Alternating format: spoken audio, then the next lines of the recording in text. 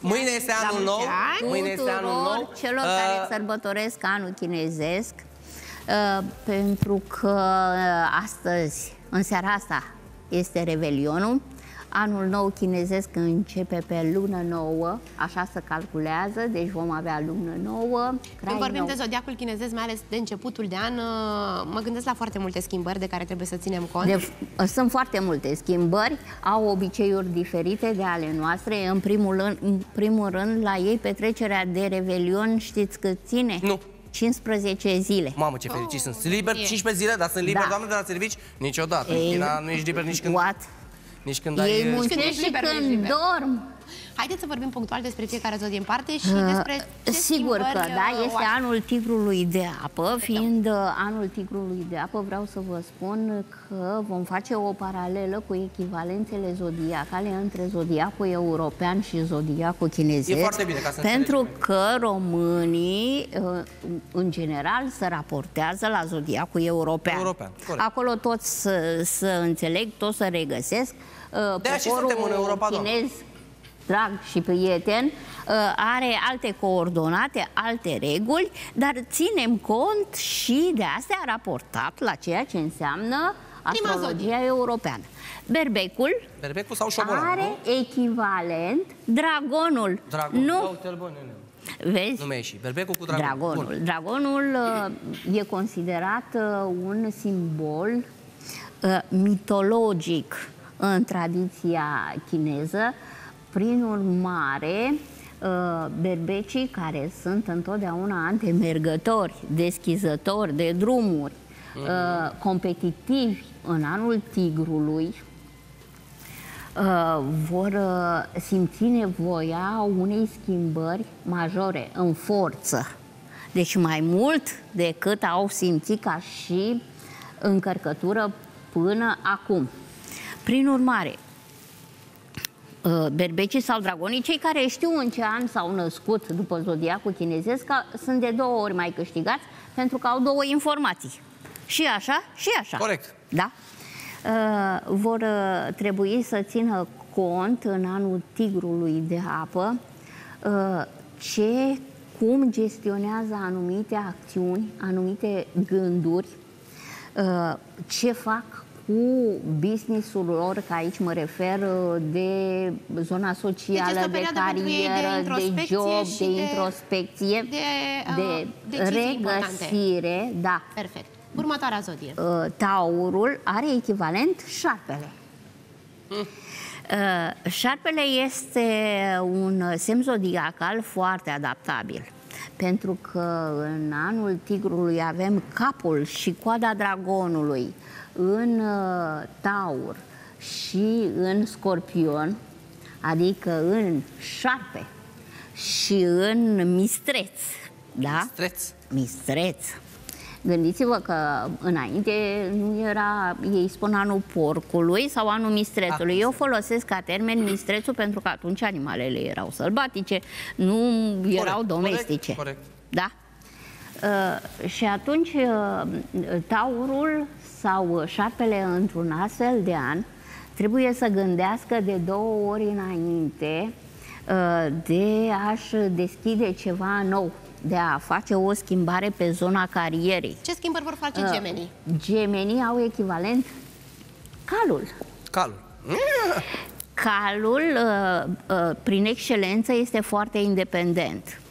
Într-un astfel de an, trebuie să fie foarte atenți, în primul rând, la sănătate și la anumite riscuri care pot ține de pierderi. Auci. A, Aici mă refer la pierderi de bunuri. Dacă știi să croiești, să gândești de două ori înainte un lucru, să vezi eventual ce ai pe astrograma ta complexă, Corect. a, atunci a, ești de două ori mai câștigat pentru că vei ști cum să alegi. Fiind o zodie dublă, da? Ei a, stau mult în cumpănă de teamă ca să nu greșească. Hai să vedem, doamnă, racul. Cum e... Racul are echivalent capra sau oaia. Ce am spus eu, Oanei? Da. Da. Capra sau oaie. Be, ceva. Un plus, aș spune eu, în anul uh, tigrului este faptul că racul sau uh, capra uh, să poate gândi cum să-și creeze niște punți de protecție. Are nevoie de protecție în această perioadă? Are nevoie de protecție Este și racul mai gândiți-vă în primul rând, este mai expus, uh, gândiți-vă în primul rând că tigrul da, poate ataca o oaie, o capră. Da, Da? corect. Și atunci Are trebuie forță, să se are energie, este vânător prin excelență. Pe ce plan, doamnă, trebuie să aibă grijă? Sănătate? Trebuie, uh, sau- Sănătatea este pe Sănătate. primul loc. Uh, auzit uitați brățări pe care le fac de tip chinezesc, de tip feng shui. Pentru, de data uh, asta pentru v-am protecție. adus, da, pentru protecție. Doamnă, haideți să mergem la leu, că eu sunt foarte curios. Leul uh, are echivalent maimuța. Este un simbol al Haideți, inteligenței și al agilității. Dar de ce ție nu-ți plac maimuțelele mici? Uh, știi că în Îmi place Thailanda să eu mă uit la am ele. fost pe muntele maimuțelor. Uite, uite, Era Andrei, atât de uite mai frumos. mult. Chiar semănăm aici, eu dacă mă uit atent sunt... Dar ia să mă Da? vin și eu. A, păream că suntem acolo.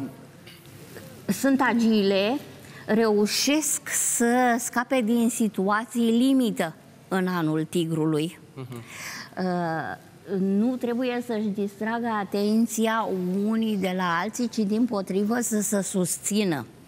Este Bun. un an important uh, și din punct de vedere afectiv, sentimental uh, și din uh, perspectiva business-ului, jobului, ceva nou, pentru că anul nou Doamna, mi-ați adus... chinezesc e nou. Vreau să vă spun ceva, mi-ați adus o, o veste foarte bună. Haideți să mergem la fecioare, doamnă. Fecioara are echivalent cocoșul.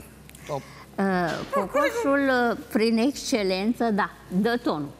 Câtă vreme uh, fecioara într-un astfel de an uh, știe cum să meargă pe o politică a pașilor mărunți, fără să tulbure, fără să deranjeze, atunci lucrurile pot sta destul de bine.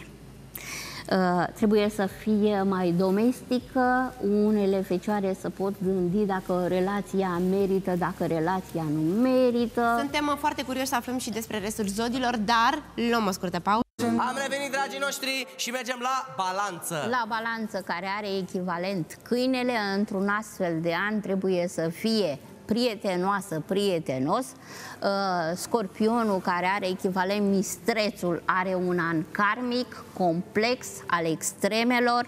Săgetătorul, în anul tigrului, se gândește de două ori înainte dacă acceptă un compromis sau dacă iese dintr-o relație, Capricornul are echivalent bivolul, este un an în care poate să facă schimbări majore legate fie de o casă, fie de un job.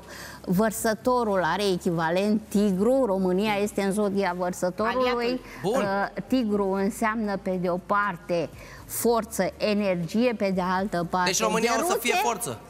Scoase, depinde. Gheruțe scoase și dacă ne Așa. enervăm, ne scoatem și gheale. Bravo, doamnă, foarte bine. Așa, iar peștii care au echivalent uh, iepurele sau pisica, că așa este zodiacul chinezesc, uh, trebuie să facă și să desfacă uh, lucrurile în așa fel încât să aibă grijă în primul rând de sănătate, să nu deranjeze pe cineva, să fie diplomați. Cine își dorește, mă găsește pe astrolog Mariana, pe Facebook și singurul meu număr de telefon 0770 770 101. Acolo vă pot găsi pentru Doamnă, mai multe detalii. m-am Vă E- încadrat. mulțumim din suflet.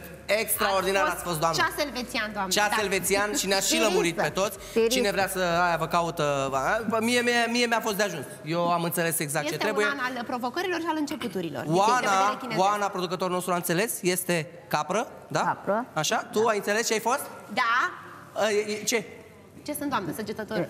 Echivalent uh, șobolan. Șobolan. Șobolan. Șobolan. Eu sunt maimuța, oh, oh, de mâine o ard cu banane. Deci mănânc banane la Mamă, greu. și mi-e frică de Cam asta șobolan, este, Doamne Luana, Oanei îi aducem uh, iarbă și cam asta este.